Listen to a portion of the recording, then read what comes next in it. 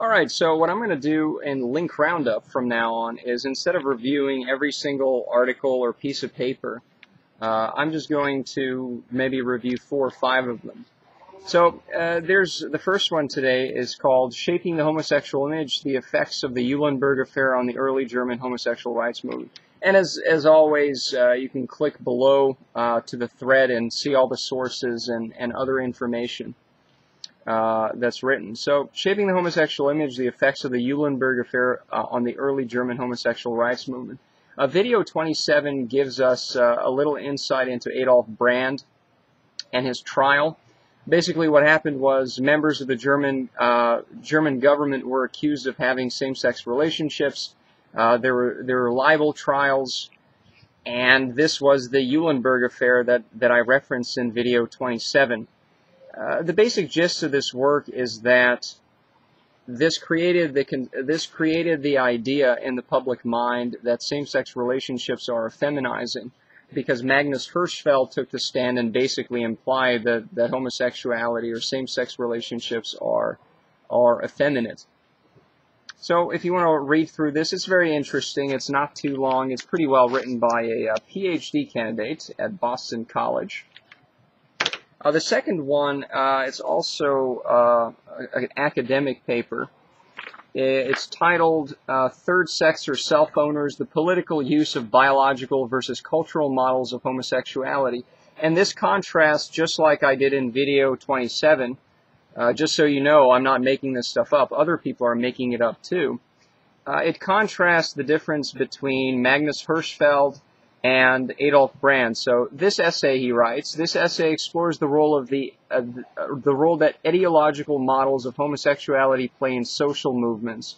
Uh, ideolog ideological models are basically, you know, origins of how did same-sex um, uh, affairs or relationships or inclinations arise. So he says homosexual social movements have tended to cleave along a dividing line into those who seek legal change through lobbying and those who believe in a much more radical stance. As we will see, the first group inclined to the biological essentialist model, the second to the cultural social uh, constructivist model.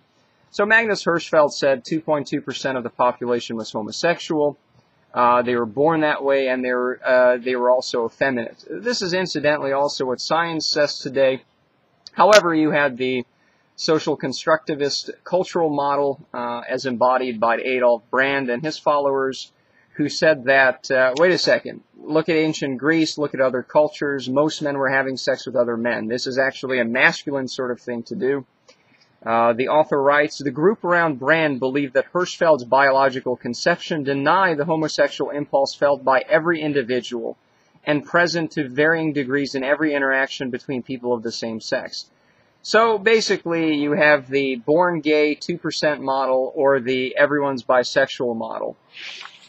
And, and he writes a little bit on this. He writes uh, on this. What I don't like a lot about a lot of these academic essays is is you have two radically uh, or, or, seemingly ex mutually exclusive points of view: two percent gay or everyone's a bisexual, um, and everyone's uh, so-called homosexual to some degree. And he doesn't really take a point one way. He's like, well, this guy said this and that guy said that.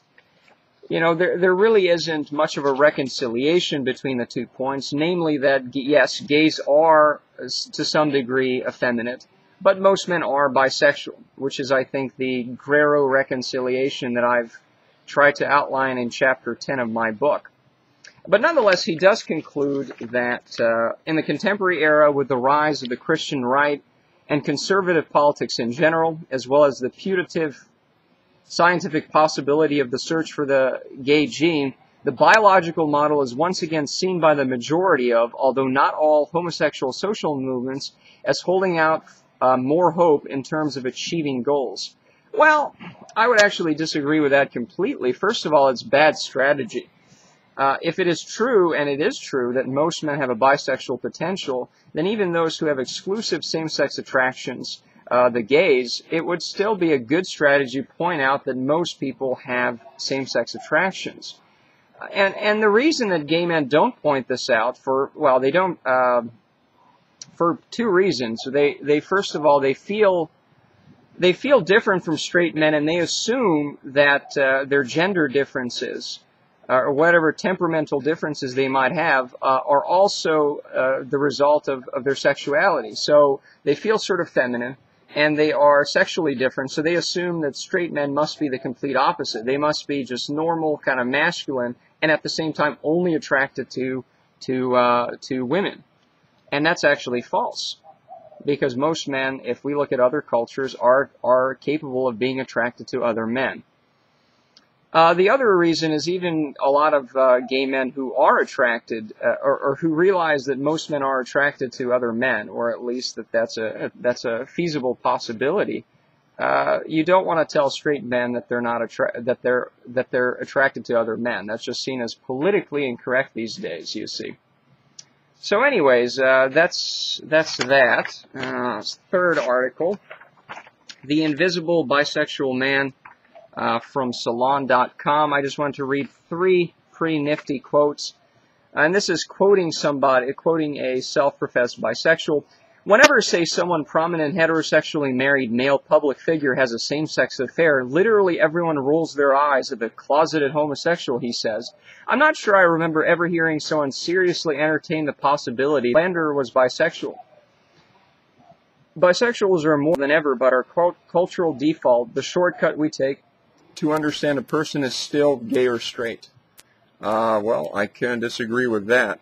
Uh, there's no nuance uh, in that even without any genuine questions about their identity, many bisexual men end up choosing a different label depending on the circumstances.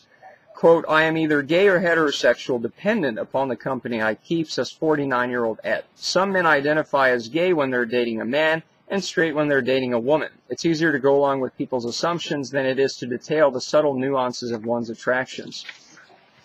Indeed. And the last quote that caught my eye but several men in their 20s said that straight women were turned off by it, their bisexuality, their attraction to men. I encounter lots of women who totally rule out relationship with men who've slept with men, says Simon. It seems like straight men attach an ick factor to bisexual men that straight men don't attach to bisexual women. As I think I've said in another video, I, I completely agree with this. Um, so on a on an online site uh, like OkCupid, you can pick from whether you're attracted to women or you're attracted to women and men or men only. So when I when I put I'm attracted only to women, I get tons of, of responses from women. When I put I'm attracted to women and men, you would expect that I would get the same amount of responses from women plus well, same amount from women plus the amount from men that would be on the site who are bisexual or gay or whatever. What happens is the amount of women who respond actually goes down. So there is certainly, I can confirm this on my own personal, um, what do you call it, uh, personal experiment that, uh, yeah, a lot of women are simply not, uh, whatever they might say, they, they don't like uh, men who are attracted to other men. You know, and then they get upset that all these men then say, say they're down low and all this stuff. You're the reason we're lying, darlings, you know. And uh, the last article, although we have a video review as well, uh, Russian anti-gay bill passes, protesters detained. Detained. A bill that stigmatizes Russia's gay community and bans the distribution of information about homosexuality to children was overwhelmingly, overwhelmingly approved by the lower house of parliament Tuesday.